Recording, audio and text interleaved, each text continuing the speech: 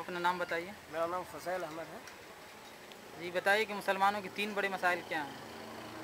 सबसे बड़ा मसला तो मुसलमानों के साथ तालीम का मसला है। और एक तो मैं समझता हूँ कि सिक्योरिटी का भी मसला है। कि आमतौर से हिंदुस्तान में सिक्योरिटी फोर्सेस परेशान कर रहा है मुसलमानों को। और थोड़ा सा आपसी मसला भी है मुसलमानों के साथ मुसलमान में आपस में तनाज़ात हैं और बात की बुनियाद पे मसलक की बुनियाद पे। जी तो इलेक्शन आ रहा है तो उसमें आप किन मसाइल को सामने रख कर वोट देंगे?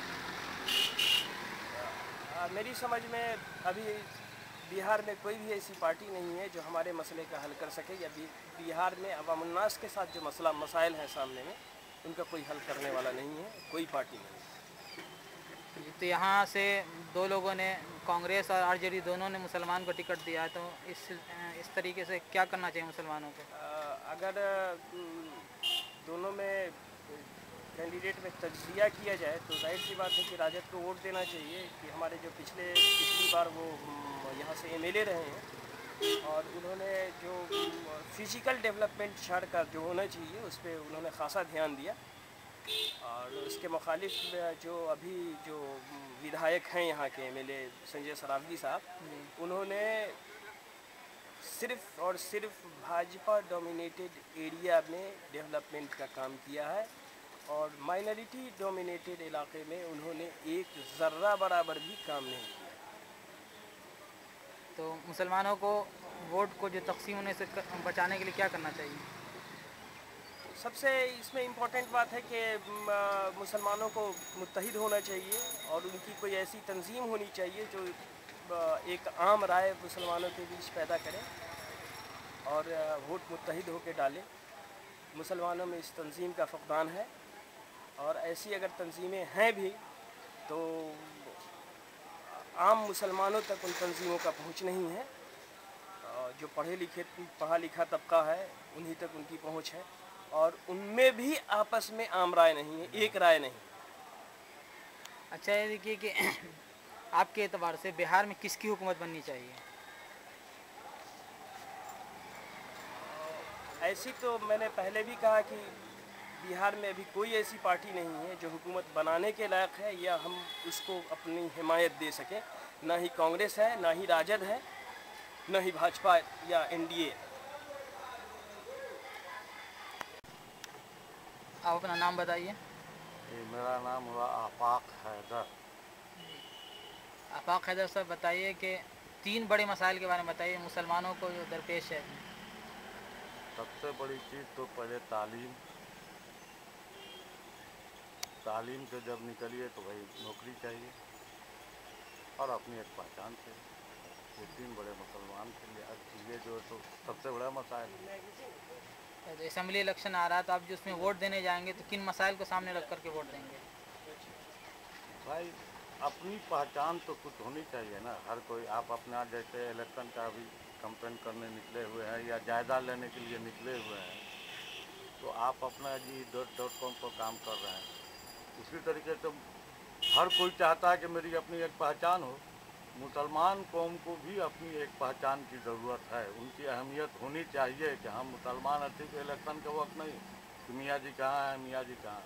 नहीं मुसलमान को भी इस समाज में इसमें अपना एक मुकाम चाहिए वो मुकाम जो भी पार्टी दे, हम उसी के तरफ़। अच्छा अभी जो किसी से झगड़ा तो कुछ है नहीं। मेरी अपनी एक पहचान चाहिए हमारी भी कुछ शख्सियत बनती है इस हिंदुस्तान के अंदर। मौजूदा जो एमएलए है उसने जो है मसाइल को हल करने की कहाँ तक कोशिश की है? आप तो निकले हैं घूम कर देख ही रहे हैं। दरभंगा के सड़कों का हाल देख लें बिजली की हाल देख लें नालियों की हालत देख लें ये सब तो आप देख ही रहे हैं। तो आप- खुशबूत हम आपका ज़्यादा वक्त नहीं लेंगे। आपको हम सिर्फ़ एक ही चीज़ यहाँ के हम खास करके दरभंगा के मुसलमानों से ये अपील करना चाहते हैं कि ठीक है, आप नीतीश को वोट दें या लालू प्रसाद को दें या आप जो है तो पासवान जी को दें। अपने वोट को बटने नहीं दें। रात रात से उठकर, मसलकी मसाइल से उठकर आप अपने वोट को यकमुश्त करें और यहाँ चूँकि नीतीश ने सपोर्ट कर रखा है बीजेपी को, इसलिए आप अपने वोट को किसी दूसरे को जो दे तो यकमुश्त दें। हम तो बीजेपी को वोट देने से रहे अगर हम बीजेपी को वोट नहीं दे रहे हैं तो अपने सारे वोट को यकमुश्त होकर या तो आरजेडी को दे दें या कांग्रेस को दे दें। लेकिन कांग्रेस का चूँकि पिछले पंद्रह साल से, बीस साल से कुछ बिहार में वजूद नाम की कोई चीज़ तो रही है नहीं।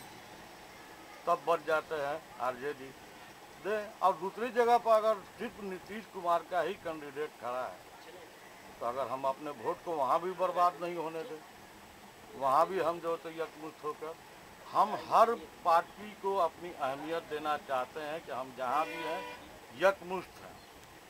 मेरा यही अपील है आपसे। इंशाल्लाह इस पर आप लोग अमल करें। नाम बताइए। मोहम्मद इलियास। बताइए, आपके तीन बड़े मसाइल क्या हैं? हमारा ये है कि हमारे एरिया में जो है, कब्रिस्तान एकदम लंगा पड़ा हुआ है, इसको घरवाने वाले कोई नहीं है। और दूसरी बात है कि पानी चमकता है, हम लोग भाग के चले आते हैं इस रोड पर। हाँ कोई न पूछने जाता है, न बोलने, चापा कल है, दो है, वही, उसी से हम लोग पानी नहीं पीते हैं। न कुछ पूछने जाता है कि क्या है। बिजली नहीं है हम लोग के एरिया में, कुछ नहीं, खम्मा भी नहीं। आपके जो मौजूदा एमएलए हैं उन्होंने आपके इलाके में काम किया? जितना हम हमारे इलाके से पीछे काम किया है जहाँ हिंदू लोगों का एरिया है। उन लोगों का ठीक है जो रोड है और चापा कल है उन लोग को गरा दिया है।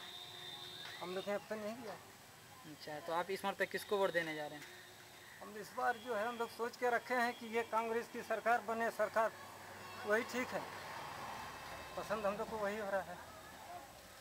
अच्छा ठीक। नाम बताइए। नाम हुआ हमारा मोहम्मद मुर्तजा अंसारी। क्या करते हैं? वही नगर निगम में डेली बेस पर काम करते हैं। अच्छा ये बताइए कि आपके तीन बड़े मसाइल क्या हैं? तीन बड़े मसाइल ये हैं कि हम लोग नौ नौ साल से काम कर रहे हैं डेली बेस पर। और ये जो है बीजेपी का जो सरकार है वो अभी तक हम लोग का कोई सुनवाई नहीं कर रहा परमानेंट नहीं कर रहा। और सौ रुपया रोज़ मिलता है उसमें क्या होगा अभी इतना महँगाई में? महँगाई भी बढ़ाई हुआ है समझा? इस सब के इस सब का सुनवाई करना चाहिए इनको। अच्छा आपके जो मौजूदा एमएलए हैं उन्होंने आपके इलाके में जो है कोई तरक्याती काम किया कि नहीं किया? एमएलए हम लोग के इधर कोई काम नहीं किया। तो आप किसको वोट देने जा रहे हैं? हम तो सुल्तान साहब को देंगे क्या है कि वो हमारे पड़ोसी और सपोर्ट भी करेंगे दूसरे का। आपको क्या लगता है वो जीत सकते हैं? ये तो अंदाज़ा नहीं बता सकता बता सकते हैं। और ऊपर वाले के हाथ में है और ऐसा बात नहीं है। देखिए ऊपर वाला क्या करते हैं। हम लोग तो कोशिश ही करेंगे ना। तो आपको क्या लग रहा है कि मुस्लिम वोट जो है तकसीम हो रहा है? हाँ वो तो बटेगा ही। कांग्रेस जब खड़े हुआ मैं उसमें भी जो है मुसलमान खड़ा है तो वोट बटेगा ही। आप अपना नाम बताइए। मशाबुद्दीन तीन मसाइल के बारे में बताइए जो आपको दरपेश हैं। हम क्या बता पाएँगे उर्दू वाले जो कब्रिस्तान का हाल है बहुत बुरा हाल है। न उसमें गेट है न बाउंड्री है। कब्रिस्तान में बारिश के समय में लाश गिराने में दिक्कत होता है। हम्म? हाँ गली वाला जो रोड है मस्जिद के बगल से वो भी सब रोड अभी कहाँ ढलाया हुआ है? अच्छा। अच्छा मौजूदा एमएलए के बारे में बताइए उन्होंने काम किया या नहीं किया आपके इलाके में? नहीं मुस्लिम एरिया में तो कोई काम नहीं हुआ है। अच्छा। ऐसा तो कोई काम नहीं हुआ जिससे कह सकें काम हुआ है। तो इस बार आप किसको वोट देने जा रहे हैं? देखिए वोट का अभी तक मिजाज बना नहीं किसको वोट देने जा रहे हैं। जब दो दिन बचेगा तो बता भी किसको वोट देंगे।